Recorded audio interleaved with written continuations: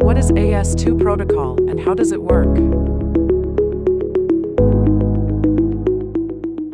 AS2 is a secure protocol used to exchange files across the internet and used widely in domains such as retail, logistics, and medical. It utilizes encryption, digital signatures, and signed receipts to prove that the party received the file intact. Each party generates a key pair comprising a private key and its corresponding public key.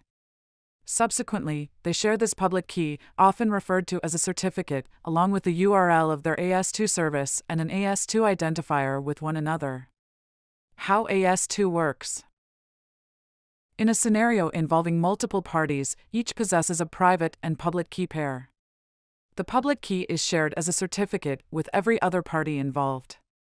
Furthermore, each party exchanges their AS2 identifier and the URL of their respective AS2 service with one another.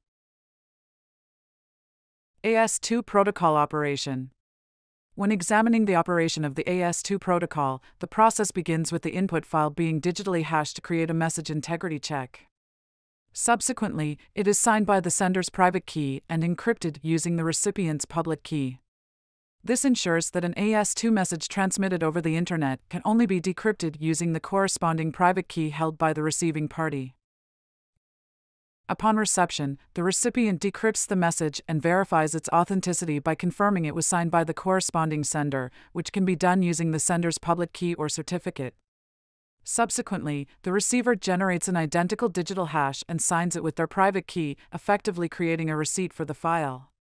This receipt, known as the MDN or Message Disposition Notice, is then transmitted to the sender as proof of delivery and is retained for record keeping purposes. What is MFT Gateway?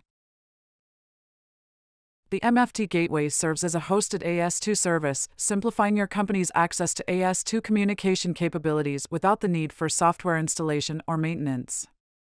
This service facilitates AS2 transactions with your trading partners, including entities like the FDA or Walmart.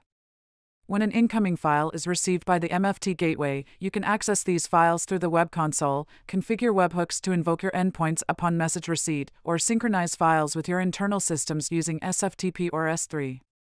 Similarly, when you need to send messages in return, you have various options at your disposal. You can utilize REST APIs or upload individual files, and the MFT gateway will then transmit these messages to your partners using the AS2 protocol. Exchange your AS2 messages with MFT gateway.